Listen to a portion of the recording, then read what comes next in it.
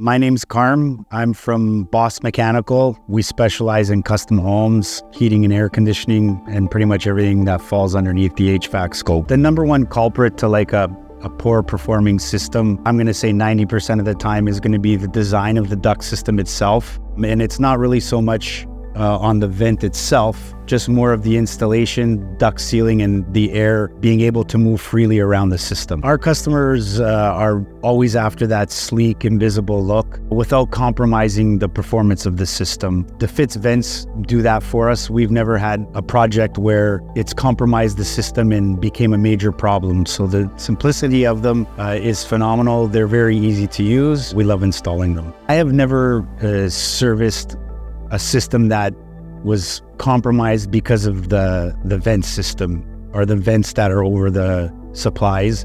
It's mostly uh, going to be furniture covering it, carpets, uh, rugs, stuff like that. It, I couldn't really put the blame on a on a on a vent being the problem or a major problem in a system. There's a lot of people out there who aren't familiar with the product and try and steer their customers away from them. But once somebody actually lives in their home with the vent and realize uh, the the good sleek look of them in the design, and they don't uh, compromise uh, the airflow on the system.